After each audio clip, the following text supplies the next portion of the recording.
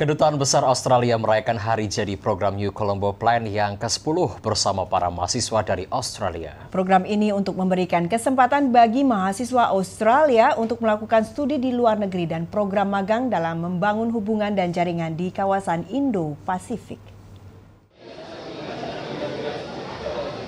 Indonesia menjadi salah satu negara terfavorit dengan pilihan terbanyak dari mahasiswa dan mahasiswi Australia.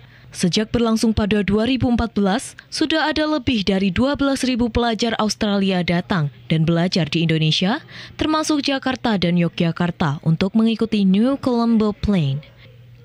Hubungan antar masyarakat merupakan inti dari hubungan Indonesia dan Australia.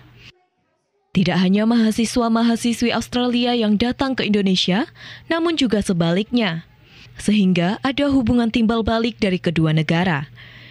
Ini kesempatan yang baik untuk menambah skill sampai pengalaman bermasyarakat.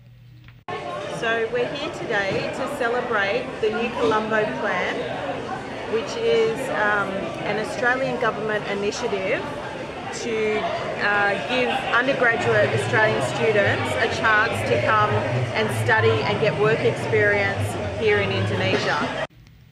Mahasiswa dan mahasiswi Australia belajar banyak tentang sosial kemasyarakatan di daerah istimewa Yogyakarta.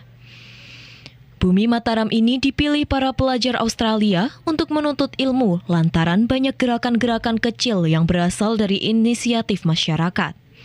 Di Jogja juga banyak kelompok yang fokus dengan isu-isu marginal seperti perempuan dan difabel.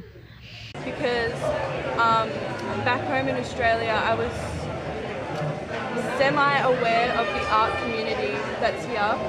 And as a fine arts student, for me, the best way to immerse myself in a culture is to go look at galleries, talk to artists, walk around the neighborhood.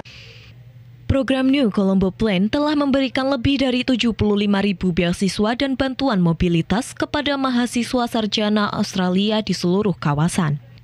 Program ini diharapkan menjadi transformasi dalam memperdalam hubungan Australia, baik di tingkat individu maupun melalui perluasan hubungan universitas, bisnis, dan kelembagaan.